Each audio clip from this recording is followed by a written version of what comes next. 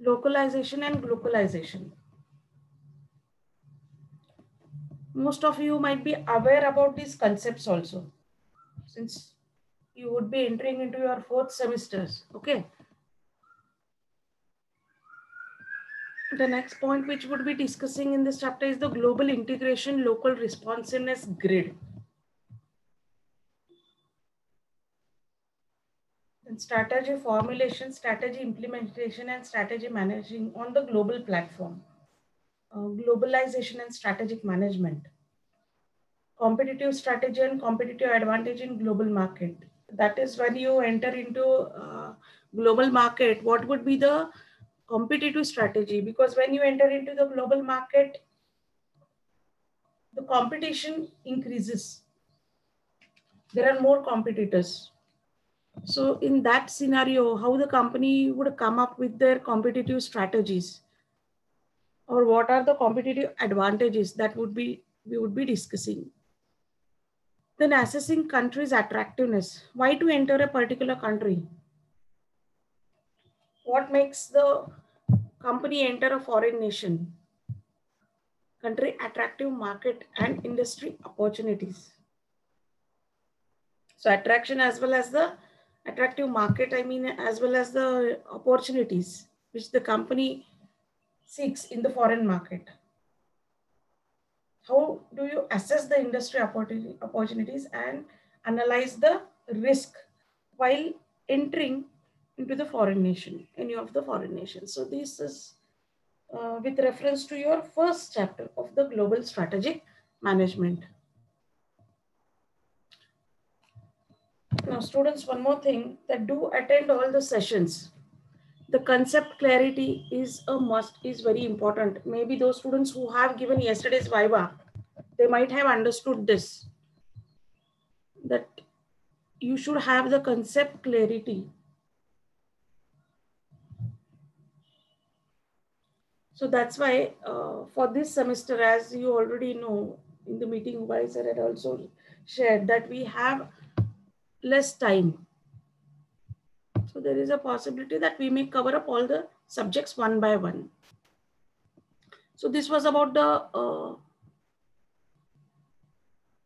just the insight of the first chapter. Now coming on to the further part. Now let's start discussing about this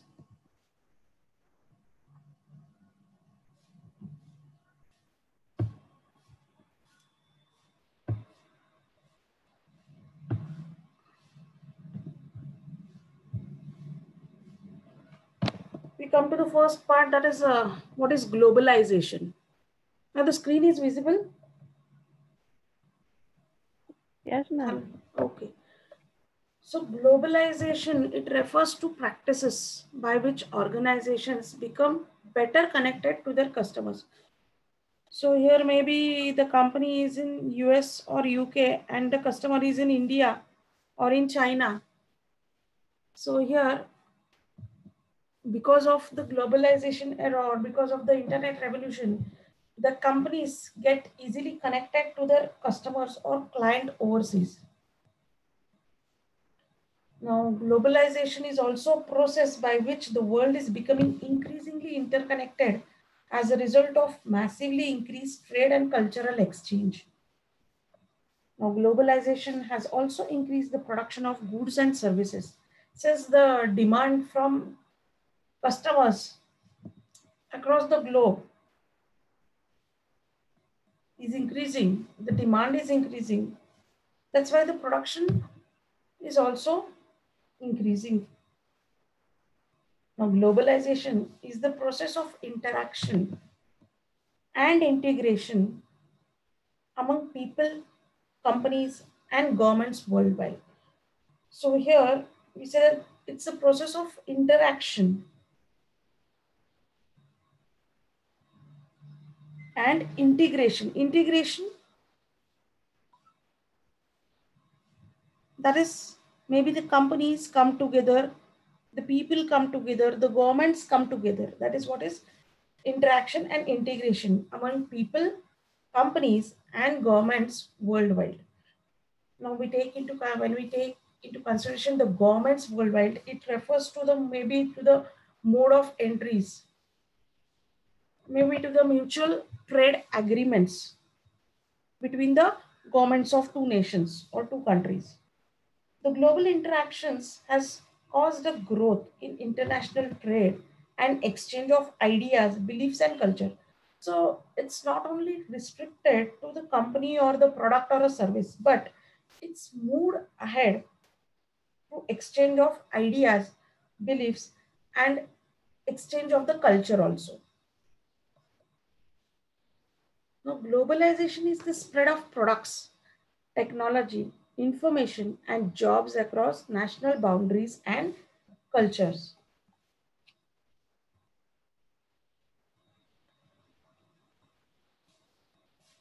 Globalization refers to any activity that brings people, cultures, and economies of different countries close together.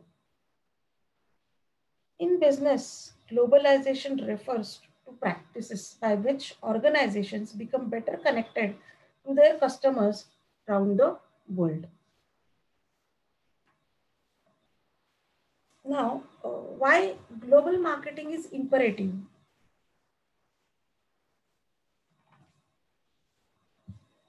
Now here, the first and foremost point is the saturation of domestic markets. Many a times what happens, suppose if you are in a specialized category of the product and there is no that much demand. That is one case where in the local markets or in your country, there is no much demand or maybe when we say it's a saturation of domestic market, that is because of the other competitors, the demand after a certain period, it stops at a constant level.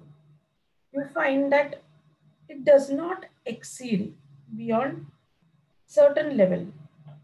In that case, you expand the market to the global nations that is one scenario. Otherwise, maybe you have more production capacity so that you can meet the demand of the global customers. So these are the two, three scenarios where this global marketing becomes imperative or mandatory.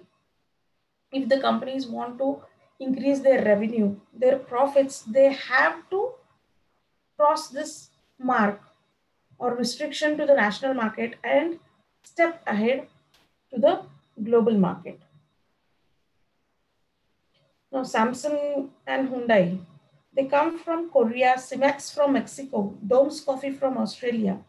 They are competing head on for global dominance.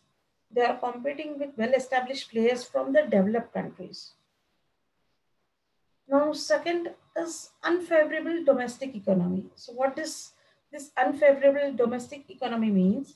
that suppose if there is a recession in one country, the other country happens to face expansion, the um, domestic economic scene may not be same with reference to all the nations.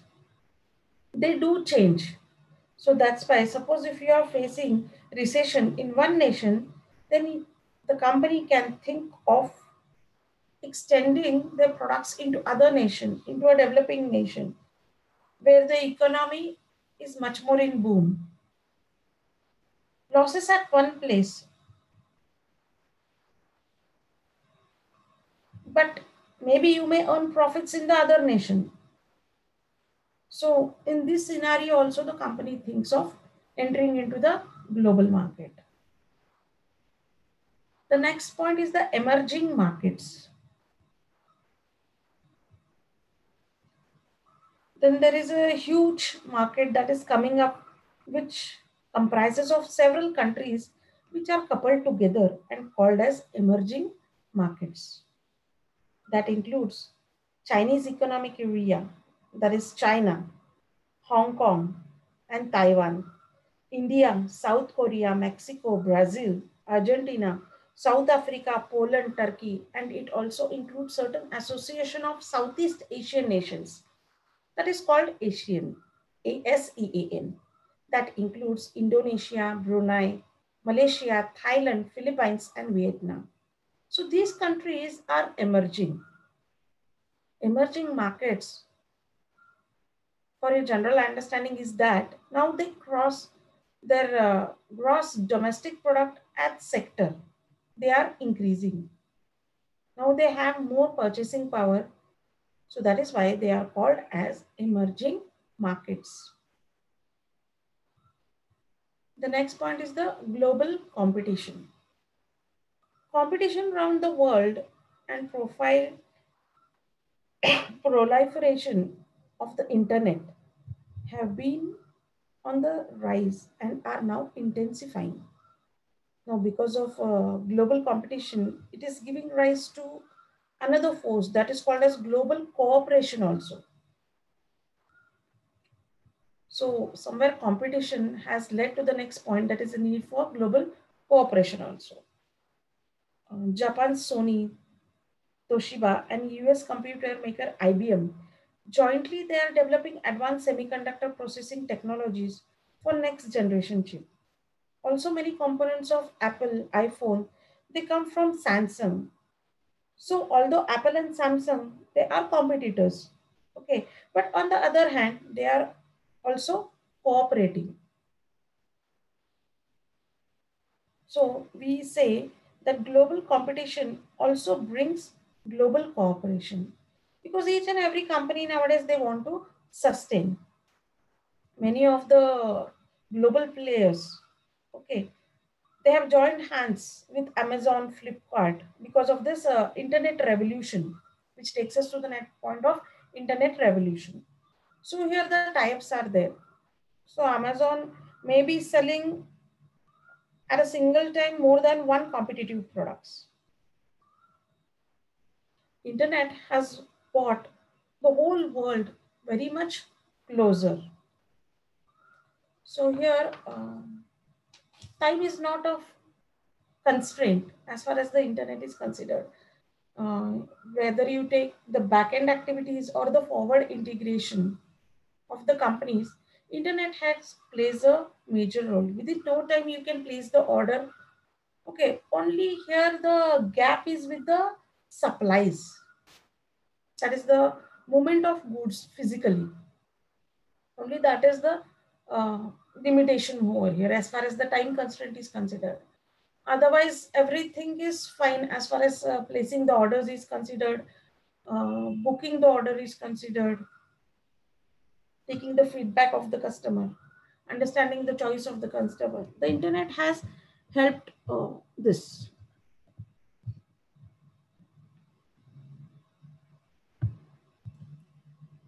Now here we go to the next point that is importance of global marketing.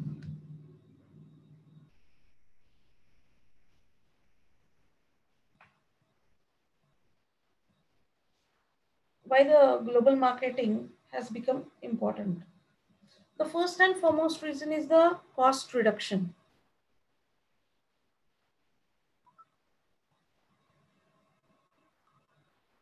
See, uh, when we speak about the cost reduction, naturally when you have the more capacity of production and you are catering to the demand of the global customers, this increases the demand as well as the supplies which again helps in reduction of the cost or price. It achieves the economies of the scales. So when you expand the market, when the demands are flourishing, in that case, uh, the per cost is spread across the products and the cost gets reduced here for many of the products. The second is the enhanced customer preference. So here when we think of the global customers, the customer preference plays a very important role. Suppose it's a technology driven product. It's a very quality product. In that case, like we have the electronic goods or we can say the automobiles, which are technology driven. So in that case, the customer gives much preference for such enhanced or technology driven products. So even the companies can enjoy the revenues or the profits. See when uh, any foreign nation enters the other nation, they face the competition from the local market. But if this foreign nation comes up with the pro product of good quality, as well as the, uh, to some extent they meet the price requirements of the customers in that nation, then they get the due preference as compared to the local products in terms of quality. And here they get an competitive advantage in these nations. Improved quality of product and programs. So here, when you take into consideration the global customers, okay, the company strives hard to maintain their quality and introduce the quality programs to enhance the product as well as the service standards. It's not easy for the companies to meet the requirements of the global customers because it's the face of the nation which enters the global market and the companies start gaining the reputation and the brand name in the global market or global scenario. So here the company has to stick to the quality aspect. Then and then only it enters into the market. And now again, it depends upon uh, which market you enter, which market area or criteria you enter here. Next is the increased competitive advantage on a global basis. So here, uh, maybe a company, a certain company may have a monopoly in their own nation, but when it enters into the global market, it faces stiff competition from the other competitors also. So while competing with the others, the company has to have its thorough marketing research because it has to maintain its standards. It has to compete with the other competitors. Maybe it's a automobile market, maybe it's a cosmetic industry, maybe it's uh, any other industry. It has to have its own USP or it has to has its own competitive edge to maintain the competition or to be in this, survive in this competitive environment of today's era. So this is about the importance of global marketing. Now, this uh, global marketing, it emphasizes on standardization, coordination across markets and global integration. Standardizing marketing programs across the world across the different countries. So somewhere they have to uh, standardize this. Many of the companies, they standardize the products also. Or there are some companies which change according to the requirement of the local needs. Coordination across markets. Now it means here reducing cost inefficiencies and duplication of efforts among their region, national and uh, regional subsidiaries also global integration, participating in many world markets to gain competitive advantage, effective and integration of the firm's competitive campaigns across these markets by subsidizing operations in some markets with resources generated in other markets. Now, global marketing does not necessarily mean uh, standardization of the products, promotion, pricing, or distribution strategies across the world, but it is the company's proactive willingness to adapt to a global perspective. Instead of country by country or region by region perspective in a developing marketing strategy. Now, what are the advantages of this global marketing?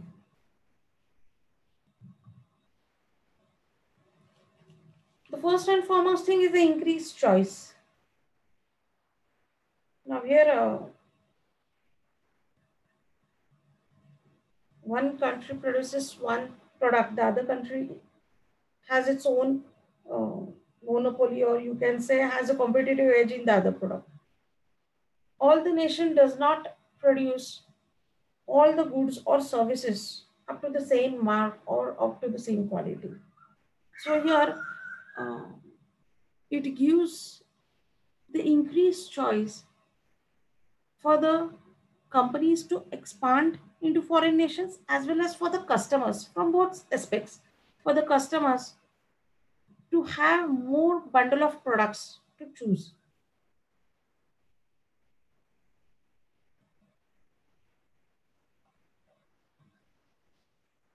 Next is the higher quality goods.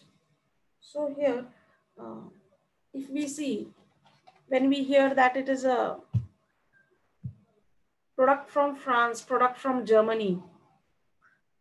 Okay, so here the quality matters. Few of the products like German make is famous for their technology.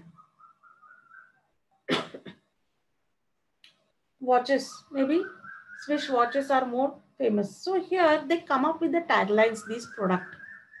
The quality emphasis is attached or these labels are attached with the products. Since those specific countries have their specialized make formula which gives them a upper edge in the global market. The next point is the increased competition.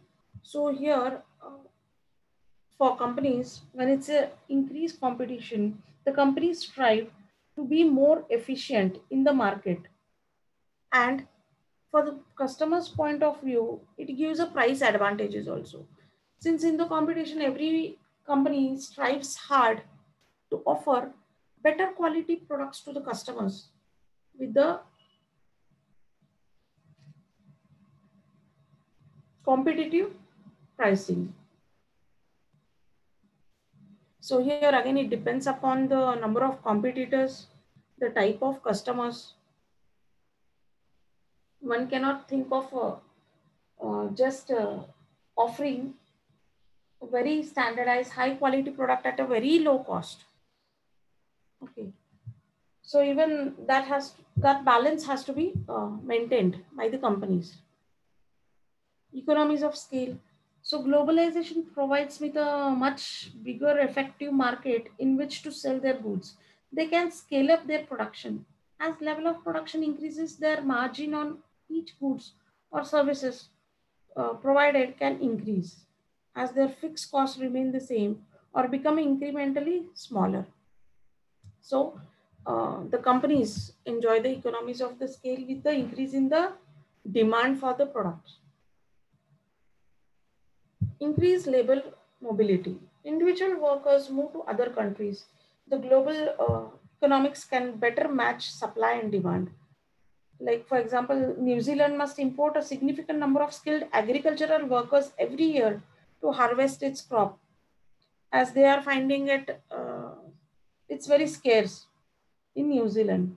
Similarly, if you uh, take into consideration the developed nations that the like UK and uh, USA, they have to import the technical staff from the Asian countries. Similarly, if you uh, take into consideration the countries like UAE, even they have to uh, import the staff with the specialized or skill categories. We take into uh, consideration the aviation or the construction part. They have to import the skilled personals from other nations. Same is with the African countries also. The next point is increased capital flows. The capital is able to flow into developing economies, providing a significant form of finance that business in that economic would not have otherwise have access to. Now, if you just consider the example of India, uh, after this uh, globalization, liberalization, okay, many foreign nations entered into India. It allows the foreign investments to flow into a particular nation, which gives a boost to the economy. Once the finance is there, once there is capital, which is the major requirement for any businesses, it helps in the boom of the economy, to upliftment of the economy, we can say. Improved international relations. Of course, the last but not the least is the uh, improved international relations. So bilateral trade start taking place. The relations between the two nations improve in the business context as well as on the political grounds also. So these were some of the advantages of uh, globalization. So any doubts up till here? Hello?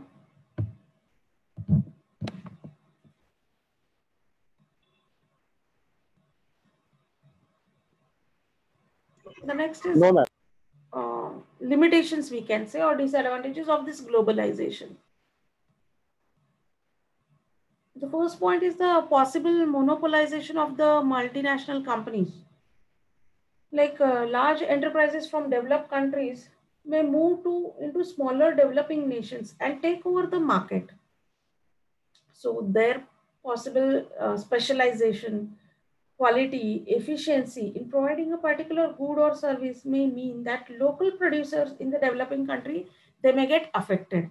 And here if the government does not take the cognizance, then it is totally, like we can say it's a monopolization of the market for the companies. They started ruling the market. Now, if you see, we are also facing the problems. If you consider the China, since maybe the people or much more awareness has been created on the political ties. Okay, so there are many reasons for this. Uh, in India, the increase of the Chinese goods, okay, is on rise.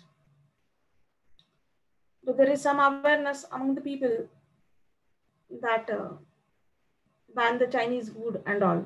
Okay, but unless and until the government takes some uh, or government plays some role, okay, the things won't move ahead.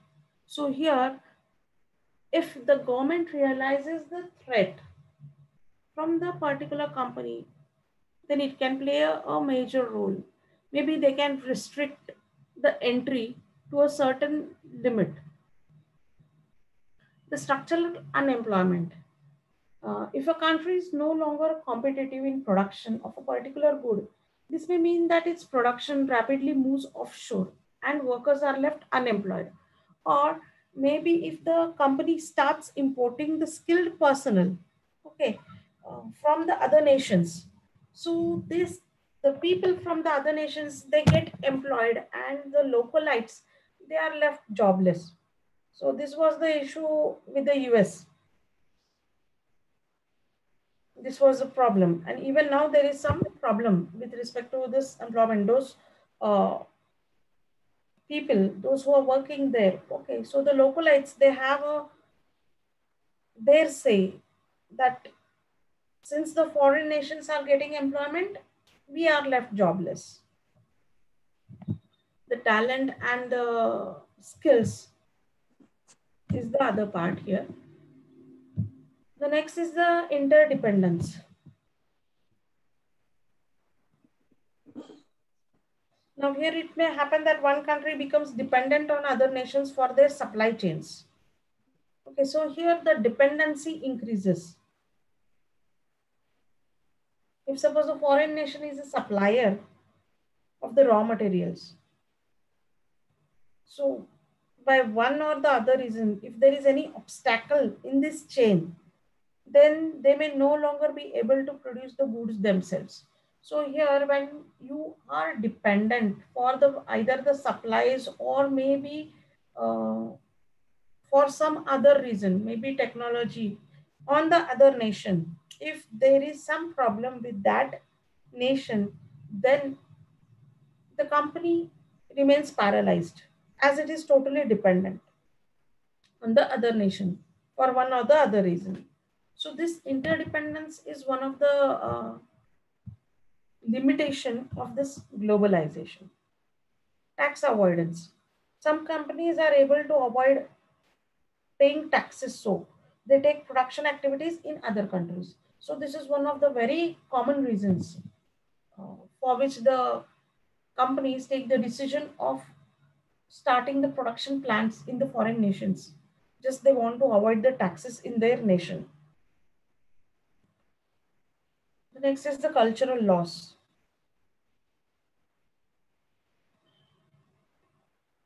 Now, specific cultural characteristics from some countries are slowly disappearing.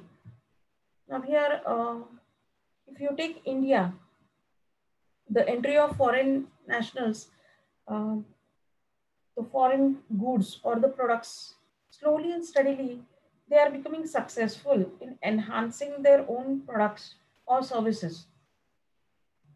Like people have started to like those products they are trying those products. They are moving ahead with those products.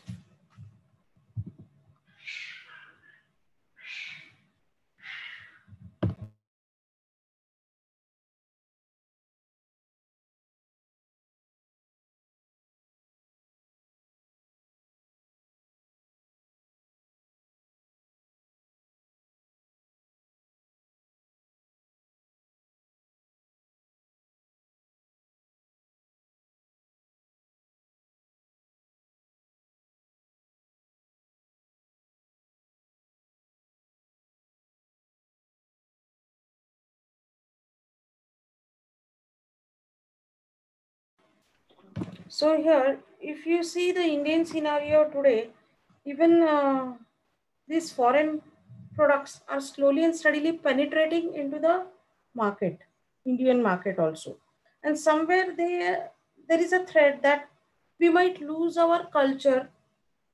Now this process doesn't happen in a day or a two, but slowly and steadily, uh, when people start liking the product, there is a possibility of penetrating into the market. So this is about the globalization. The next part is the uh, localization. Localization is, is the process of adapting a product to a specific target market.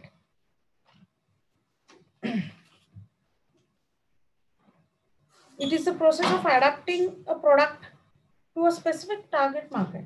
Localization takes that product and makes it highly relevant for one specific market. McDonald's operates over 30,000 restaurants in 100 countries. Its worldwide expansion is an example of globalization. By design, the corporation creates a menu adaptable to various local tastes and customs.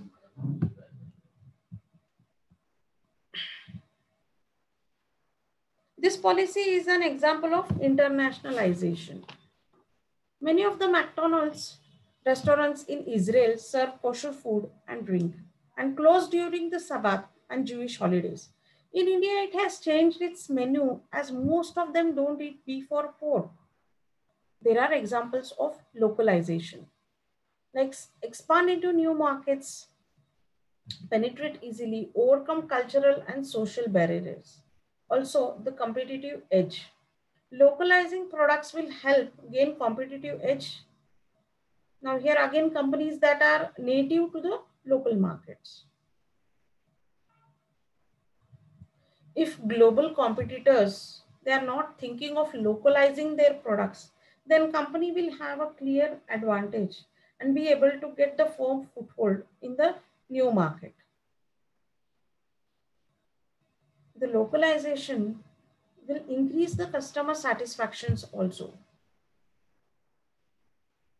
it will show commitment to the customers. So suppose if you are getting the product of your choice, okay, if it's a global company and adhering to the norms of the localites in terms of taste and preferences.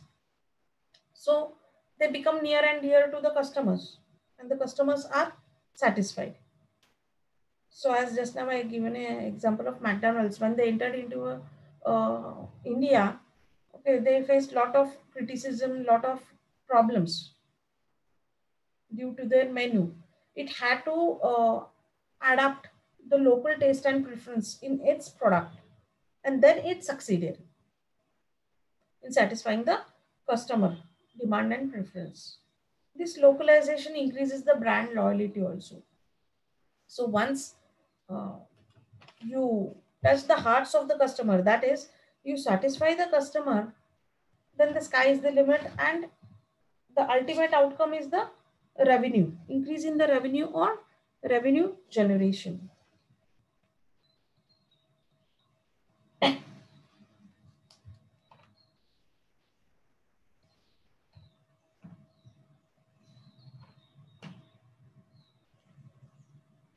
Now, localization is the adaptation of a product or service to meet the needs of a particular language, culture, or desired population. So here, uh, suppose if you are entering into the localize in India also, if you see, there is variation.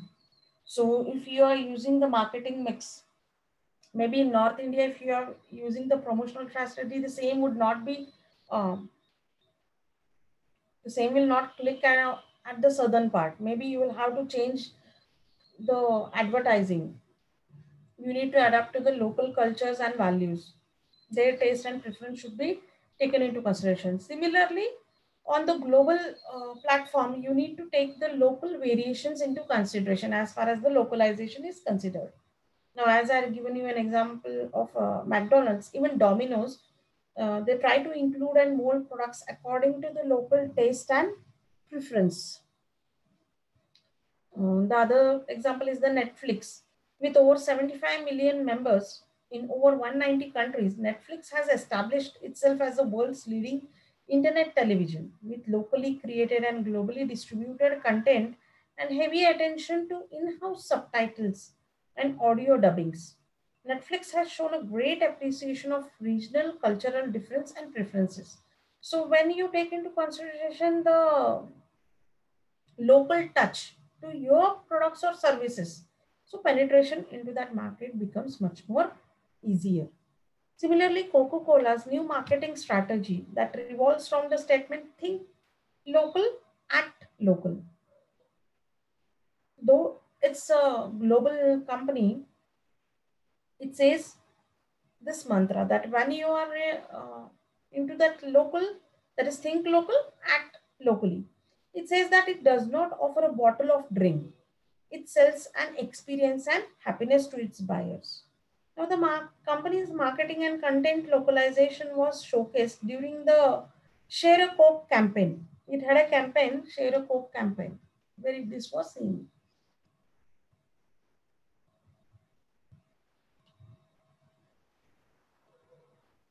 Now, uh, in China, it is considered disrespectful to refer initial names of people. So here, this initially conflicted uh, the strategy of Coke. So they introduced uh, in this campaign the words like classmate, close friend. So one cannot think of bypassing the cultural constraints. One has to think about it. So this was a problem with uh, KFC in China. So here in this uh, localization, web marketing, cultural norms, purchasing preference, they all play a very important role.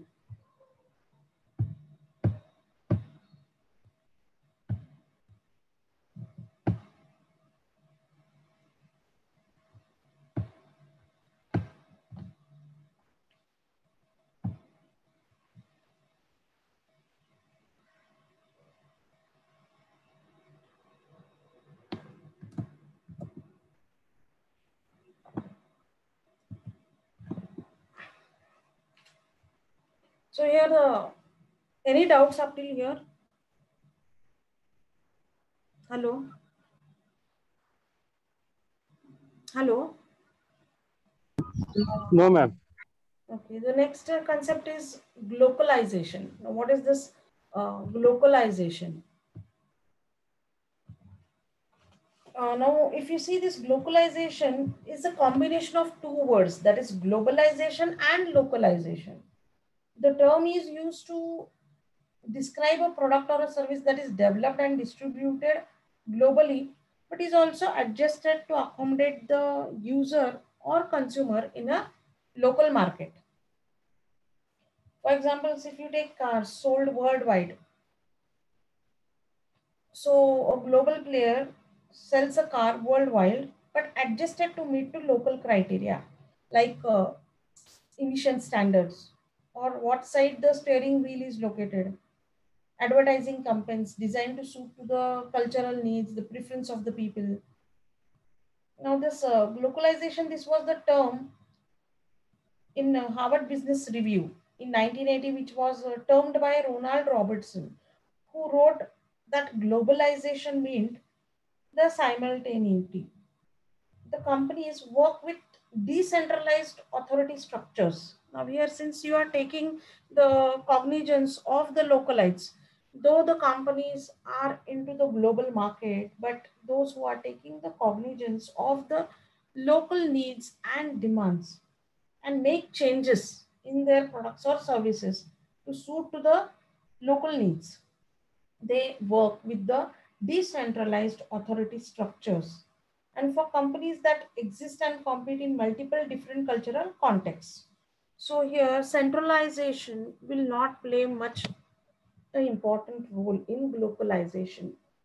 Those companies who are adapting this glocalization for them, they should have their own decentralized authority structures, headquarters maintained. Here, market research plays a very vital role for companies. The target marketing in different markets, their understanding their needs, preferences, cultural backgrounds will help master the companies into the areas which they are heading.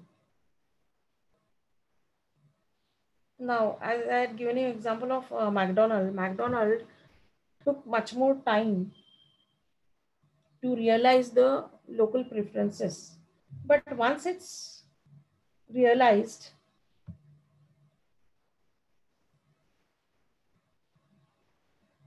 today if we see, they are they have penetrated into the market, they are successful.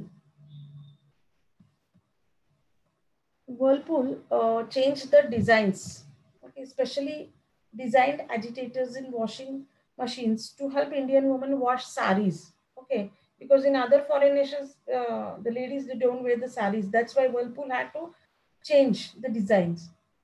Localize refrigerators. Asian market. Now, if you consider, put a refrigerator in their living room as a sign of status symbol. Now, here when you think of status symbol, then uh, the attribute of treating it as a home decor plays a vital role, which maybe in other foreign nations, that's not the issue. So here, bright colors like red and blue were introduced to meet the local requirements. These changes seem very small, but make a big difference for the customers. Starbucks stores.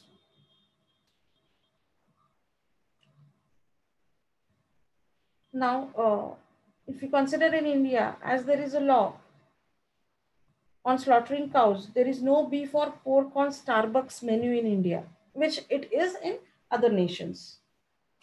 They mainly serve vegetarian options like you know chatpata paratha wrap or veg paneer spices.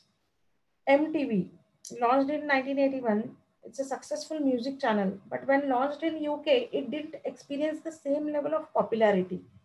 They localized to the UK music and lifestyle culture, then they had the better ratings.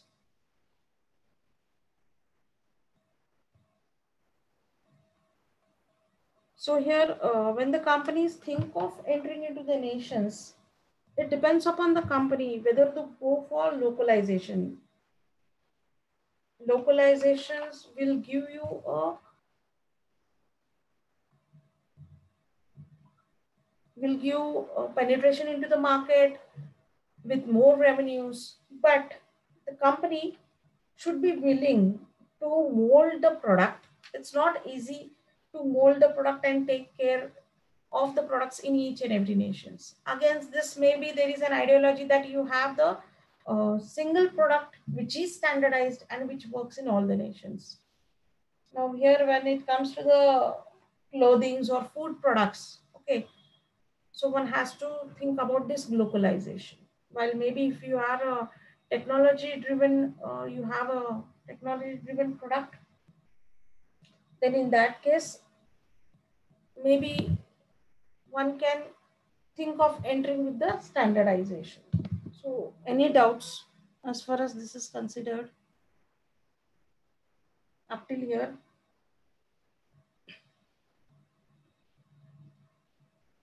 Hello. No, ma'am.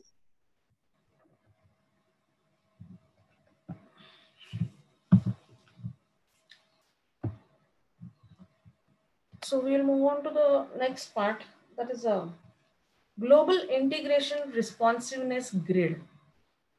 Now this is a grid or we usually say it's a quadrant.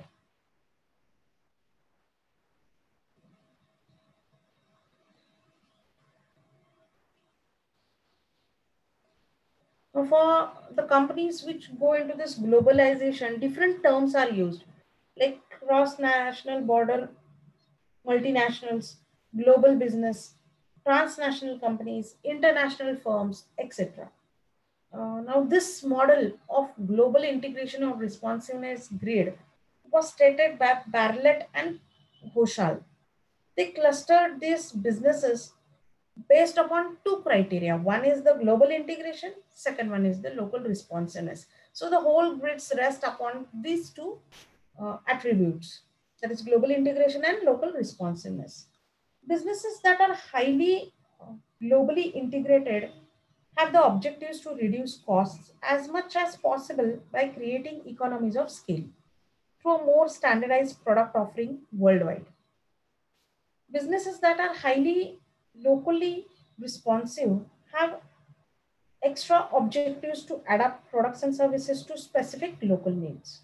It seems that these strategic options are mutually exclusive, but there are companies trying to be both globally integrated and locally responsive.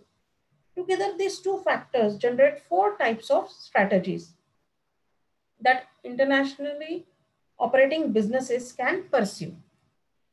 They are multi-domestic, global, transnational, and international strategies. So these four strategies, or you can say four uh, types have evolved. So this is also known as Bartlett and Ghoshal's typology of multinational companies. Now, if you see the first one, that is the multi-domestic strategy. Okay, based upon the strategies, these are formed.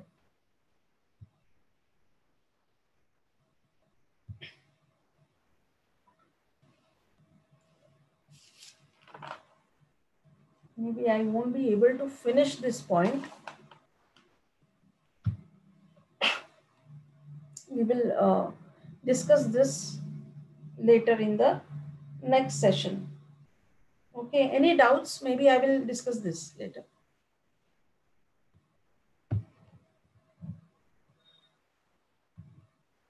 Hello.